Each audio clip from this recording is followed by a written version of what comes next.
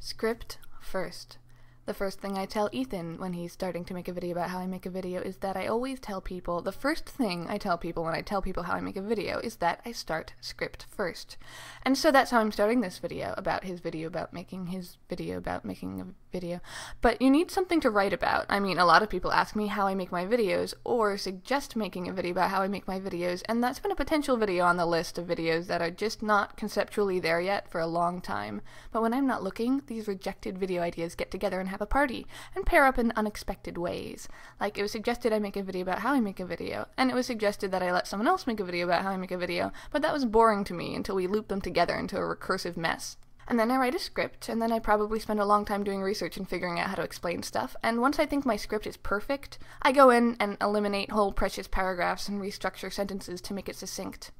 And I read through, imagining what I might film, and if I can draw the point of a sentence, I don't actually need to say the sentence. If I draw the same thing I'm saying, that's like super emphasis. It's a way of slowing down without actually slowing down. So now I'm going to stop filming about how I script and start scripting about how I film. I mean, except that I haven't actually filmed that yet. I'm just writing the script about how I'm going to stop scripting about how I script.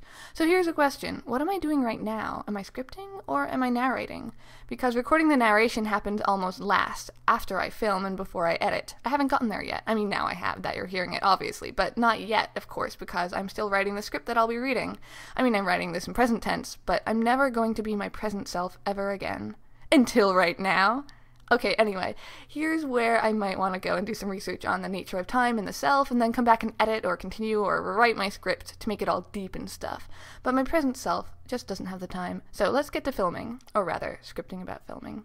Basically, I look at my script and draw stuff that goes with the words. I may edit my script slightly to reflect sudden ideas that come out through my doodling or drawing, like all this stuff going on right now is why I added this phrase. But usually, no major changes. Often I think of something and then have to scramble to figure out how do I get the people or a pineapple, and this can delay filming by a couple days, except since I am super impatient, I probably just make do with whatever I can find quickly, which can be super amusing when, say, I'm looking for an example of a logarithmic spiral and accidentally end up with a live snail that shows up on my sidewalk.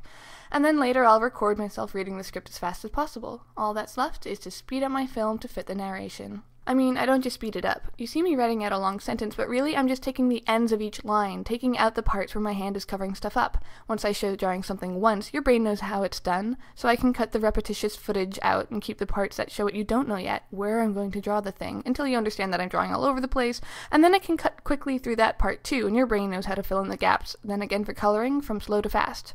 I take out pauses to make it feel continuous, even though it's really not. I keep just enough of the turning the page footage to show you that I'm turning a page.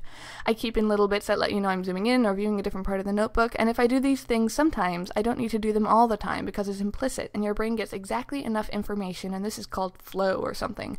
I am an anti illusionist. I trick your brain into seeing what was there all along.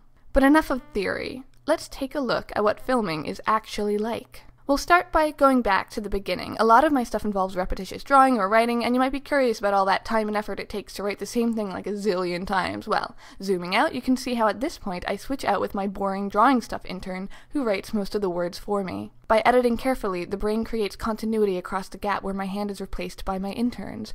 I bet the first time through, you didn't even notice. At the end of the page, we switch back because you can't trust interns with things like turning the page. Again, with a little editing, the transition is smooth.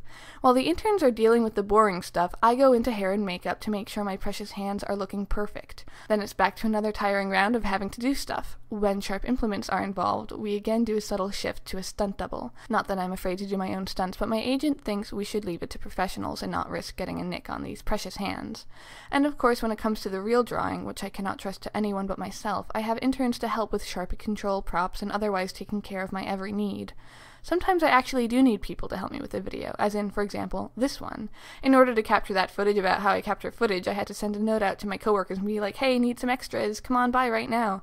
And in order to capture that footage about how I capture that footage about how I capture footage, I was back to just plain old drawing in my notebook with a camera on a tripod. Except for that footage, I had to have Ethan capture the footage of me capturing the footage about filming about footage about filming footage. I lost count. And to film that footage, I had to film Ethan filming me, filming him, filming me, filming, filming. And then there was this other guy. And uh, anyway, look, I made a video. I mean, I'm going to have made a video by the time you see this video, which is now. Hello!